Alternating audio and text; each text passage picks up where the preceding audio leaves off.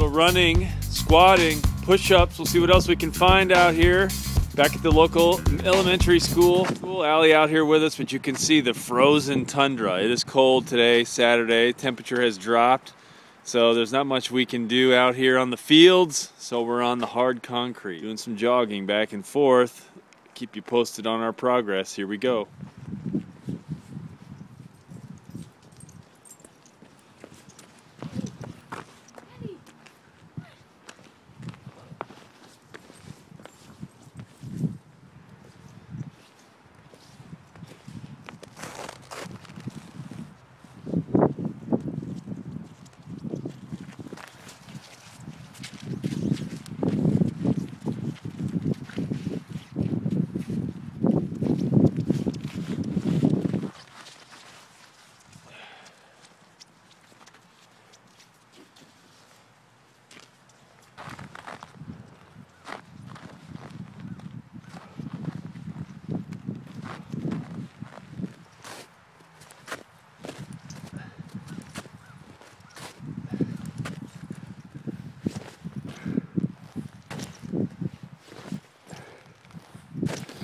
All right, as you can see, the ground really is frozen behind us here. We had some meltage and then some freezage on the ground. So we've been playing around, just working on our balance very carefully, very, very, very carefully.